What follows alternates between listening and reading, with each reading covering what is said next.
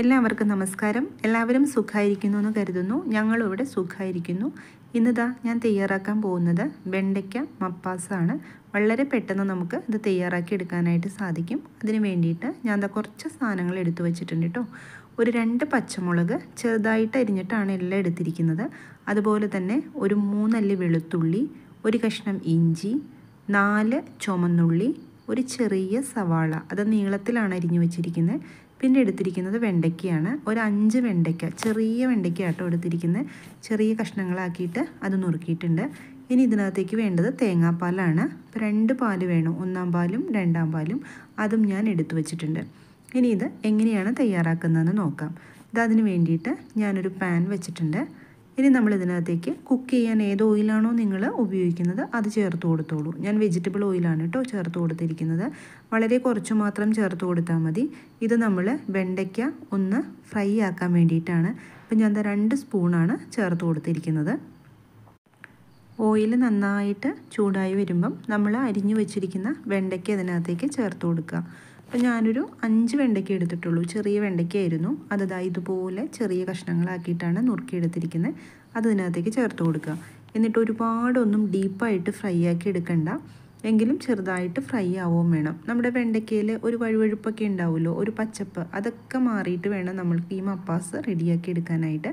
അപ്പോൾ ഇതാ ചെറിയ തീയിലിട്ടിട്ട് നമ്മളിതൊന്ന് ഫ്രൈ ആക്കി എടുക്കണം. ഇതാ ഏകദേശം ഇത് ഫ്രൈ ആയിട്ടുണ്ട്. ഇതാ ഇതാണ് കേട്ടോ ഇതിന്റെ പാകം. ഇനി ഇതൊന്ന് ഒരു പാത്രത്തിനകത്തേക്ക് കോരി മാറ്റാം. അതിനുശേഷം നമ്മൾക്ക് കറി റെഡിയാക്കാം കേട്ടോ. ഞാൻ എന്താ ഒരു പാൻ വെച്ചിട്ടുണ്ട്. അപ്പോൾ ഇതിനകത്തേക്ക് വീണ്ടും ഞാൻ ചേർത്ത് കൊടുക്കുന്നത് വെജിറ്റബിൾ ഓയിൽ തന്നെയാണ്. എനിക്ക് വെണ്ടയ്ക്ക ഫ്രൈ ചെയ്ത് കഴിഞ്ഞപ്പം ഓയിൽ ബാലൻസ് ഒന്നും കിട്ടിയില്ല. അപ്പോൾ നിങ്ങൾക്ക് അതിൽ നിന്ന് കിട്ടുകയാണെങ്കിൽ ആ ഓയിൽ തന്നെ ചേർത്ത് കൊടുത്താൽ മതി. അതിനുശേഷം നമ്മൾ നന്നായിട്ട് ഈ ഓയിൽ ചൂടായി കഴിയുമ്പം അരിഞ്ഞു വെച്ചിരിക്കുന്ന സാധനങ്ങൾ ചേർത്ത് കൊടുക്കുക. അപ്പം ഞാൻ എന്താ? ഇത്രയാണ് കേട്ടോ ഇഞ്ചി എടുത്തിരിക്കുന്നത്. ഒരു കുഞ്ഞു കഷ്ണം ഇഞ്ചി ചെറുതായിട്ട് അരിഞ്ഞത്. പിന്നെ ഇതിനകത്തേക്ക് ചേർത്ത് കൊടുക്കുന്നത് വെളുത്തുള്ളിയാണ്. വെളുത്തുള്ളി എന്താ? ഒരു നാല് അല്ലി വെളുത്തുള്ളി എടുത്തിട്ടുള്ളൂ. അതും ചേർത്ത് കൊടുക്കുക. പിന്നെ പച്ചമുളക്. പച്ചമുളക് രണ്ട് ചെറിയ പച്ചമുളകായിരുന്നു. പക്ഷെ നല്ല എരിവുള്ള പച്ചമുളകാണ്. അതും ചേർത്ത് കൊടുത്തിട്ടുണ്ട്. അപ്പോൾ എരിവിനനുസരിച്ച് നിങ്ങൾ എടുത്തോളൂ കേട്ടോ. കാരണം നമ്മൾ ഇതിനകത്തേക്ക് ഇനി മുളക് പൊടിയും ചേർക്കുന്നുണ്ട്. അപ്പോൾ അതനുസരിച്ച് വേണം പച്ചമുളക് എടുക്കാനായിട്ട്. എന്താ സവാള ചേർത്ത് കൊടുത്തിട്ടുണ്ട്. കുറച്ച് ഉപ്പ് ഇട്ട് കൊടുത്തിട്ടുണ്ട്. എന്നിട്ട് സവാള നന്നായിട്ടൊന്ന് വഴറ്റിയെടുക്കണം. ഒരുപാട് ഫ്രൈ ആക്കുകയൊന്നും വേണ്ട. എന്നാൽ നമുക്ക് നന്നായിട്ട് വഴറ്റി കിട്ടുകയും വേണം. പിന്നെ ഇതിനകത്തേക്ക് തക്കാളി ചേർക്കാൻ ഇഷ്ടമുള്ളവർക്ക് തക്കാളി ചേർക്കാം കേട്ടോ. ഞാനിതിനകത്ത് തക്കാളി ചേർക്കണില്ല. കാരണം ഞാൻ തക്കാളി ചേർത്തും ചേർക്കാതെയും ഇത് തയ്യാറാക്കിയിട്ടുണ്ട്. പക്ഷേ എനിക്ക് തക്കാളി ചേർക്കാതെ തയ്യാറാക്കിയതിനാണ് എനിക്കൊരു ഇഷ്ടപ്പെട്ടത്. അപ്പോൾ അത് നിങ്ങളുടെ ഇഷ്ടത്തിനനുസരിച്ച് ചെയ്യാം കേട്ടോ. തക്കാളി വേണച്ചാൽ അങ്ങനെ ആവാം. ഇതാ ഇപ്പം നന്നായിട്ട് ഒരു മൂത്ത് കിട്ടിയിട്ടുണ്ട്. ഇനി ഇതിനകത്തേക്ക് നമ്മൾ ഇതിനകത്തേക്ക് ആവശ്യമായിട്ടുള്ള പൊടികൾ ചേർത്ത് കൊടുക്കണം. കാൽ ടീസ്പൂൺ മഞ്ഞൾപ്പൊടിയാണ് ചേർത്ത് കൊടുക്കുന്നത്. പിന്നെ ചേർത്ത് കൊടുത്തത് അര സ്പൂൺ മുളക് പൊടി. മുളക് പൊടിയും വളരെ എരിവുള്ളത് കൊണ്ടാണ് ഞാൻ ഇത്ര കുറച്ച് ചേർത്തത് കേട്ടോ. പിന്നെ ഇതിനകത്തേക്ക് ചേർത്ത് കൊടുക്കേണ്ടത് മല്ലിപ്പൊടിയാണ്. മല്ലിപ്പൊടി ഒരു സ്പൂൺ ചേർത്ത് കൊടുക്കണം. അത്രയും വേണം കേട്ടോ. എങ്കിലാണ് നമ്മുടെ കറി ഇച്ചിരി കുറുകിയ പോലെ കിട്ടുള്ളൂ എന്നിട്ട് ഇത് നന്നായിട്ട് ഒന്ന് ഇളക്കി യോജിപ്പിച്ച് കൊടുക്കുക. നമ്മൾ ചേർത്ത് കൊടുത്തിരിക്കുന്ന പൊടികളുടെയൊക്കെ ആ ഒരു പച്ച മണം മാറുന്നത് വരെ നന്നായിട്ടൊന്ന് ചൂടാക്കി എടുക്കണം. തീ നന്നേ കുറച്ച് വെക്കണം കേട്ടോ. ഇല്ലാച്ചാൽ പൊടികളാണ് പെട്ടെന്ന് കരിഞ്ഞു പോകാനുള്ള സാധ്യതയുണ്ട്. ഇപ്പോൾ ഇതാ നന്നായിട്ട് മൂത്ത് കിട്ടിയിട്ടുണ്ട്. ഇനി നമ്മൾ ഫ്രൈ ചെയ്ത് വെച്ചിരിക്കുന്ന വെണ്ടയ്ക്ക അതിനകത്തേക്ക് ചേർത്ത് കൊടുക്കുക. അതിനുശേഷം ഇതെല്ലാം കൂടെ നന്നായിട്ടൊന്ന് ഇളക്കി യോജിപ്പിച്ച് കൊടുക്കുക. ഇപ്പോൾ വെണ്ടയ്ക്ക് നന്നായിട്ട് ഫ്രൈ ആവുന്നതുകൊണ്ട് പിന്നെ നമുക്ക് അധികം നേരമൊന്നും ആവശ്യമില്ല. വളരെ പെട്ടെന്ന് തന്നെ ഇതായി കിട്ടും കേട്ടോ ഇപ്പോൾ ഇതാ എല്ലാം കൂടി ഒന്ന് യോജിപ്പിച്ച് വെച്ച് കൊടുത്തിട്ട് ഇനി നമ്മൾ ഇതിനകത്തേക്ക് തേങ്ങാപ്പാലാണ് ചേർത്ത് കൊടുക്കേണ്ടത്. ഇപ്പോൾ ഇതാ രണ്ടാം പാലാണ് ആദ്യം ചേർത്ത് കൊടുക്കേണ്ടത്. ഒരു ചെറിയ നാളികേരത്തിന്റെ പാലാണ് കേട്ടോ ഞാൻ എടുത്തിരിക്കുന്നത്. കാരണം വളരെ കുറച്ചല്ലേ നമ്മൾ വെണ്ടയ്ക്ക് എടുത്തിട്ടുള്ളൂ. അപ്പോൾ തേങ്ങാപ്പാലൊക്കെ ഇത് നന്നായിട്ട് കുറുകിയിരിക്കേണ്ട ഒരു കറിയാണ്. അപ്പോൾ അതനുസരിച്ച് നിങ്ങൾ തേങ്ങാപ്പാൽ എടുക്കണം. അതിനുശേഷം ഞാൻ എന്താ കുറച്ച് മസാലപ്പൊടിയാണ് ചേർത്ത് കൊടുത്തിരിക്കുന്നത്. അധികമൊന്നും ചേർക്കരുത്. വളരെ കുറച്ച് ചേർത്ത് കൊടുത്താൽ മതി. പിന്നെ ചേർത്ത് കൊടുക്കേണ്ടത് കുരുമുളക് പൊടിയാണ്. അപ്പോൾ ഇതാ പച്ചമുളകും ചേർത്തിട്ടുണ്ട് നമ്മൾ അതുപോലെ തന്നെ കുരുമുളക് പൊടിയും പിന്നെ നമ്മൾ മുളക് പൊടിയും ചേർത്തിട്ടുണ്ട്. അപ്പോൾ ഈ പൊടികളെല്ലാം ഇതിനകത്തേക്ക് ആവശ്യമുള്ളതാണ് കേട്ടോ.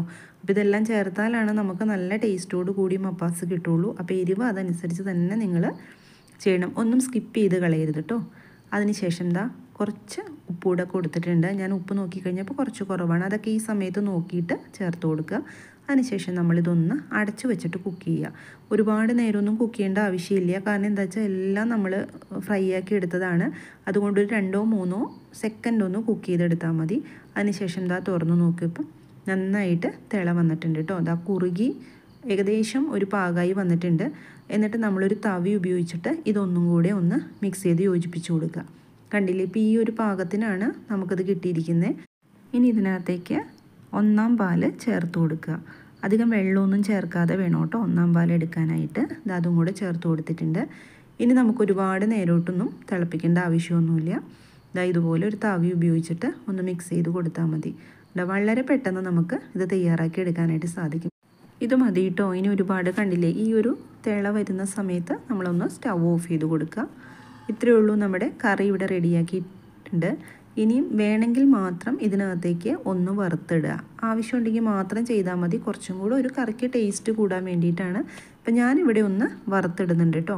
വറുത്തിടാന്ന് വെച്ചാൽ കടുകും മുളകും ഒന്നുമല്ല കുറച്ച് ചെറിയുള്ളിയും അതുപോലെ തന്നെ കുറച്ച് കറിവേപ്പിലയും. അത് മാത്രം ഒന്ന് മൂപ്പിച്ചിട്ട് നമ്മൾ ഈ കറിയുടെ മുകളിലേക്ക് ഒന്ന് ഒഴിച്ചു കൊടുക്കുക. അതിന് വേണ്ടിയിട്ട് ഞാൻ എന്താ കുറച്ച് ഓയിലും കൂടി ഒഴിച്ചിട്ട് പാൻ ചൂടാക്കിയിട്ടുണ്ട്. എന്നിട്ട് ചെറിയുള്ളി ഇതാ ഇതുപോലെ ചെറുതായിട്ട് അരിഞ്ഞെടുത്തിട്ടുണ്ട്. ഇങ്ങനെ ചെയ്യുമ്പോൾ കുറച്ചും കൂടെ ടേസ്റ്റ് കിട്ടും കേട്ടോ നമ്മുടെ ഈ കറിക്ക്. അതിന് വേണ്ടിയിട്ടാണ് ഇങ്ങനെ ചെയ്യുന്നത്.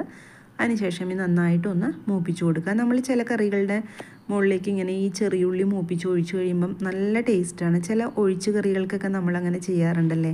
ഒരു പ്രത്യേക ടേസ്റ്റാണ് നമ്മുടെ കറിക്ക്. അതുപോലെ തന്നെ നല്ല മണവും കിട്ടും.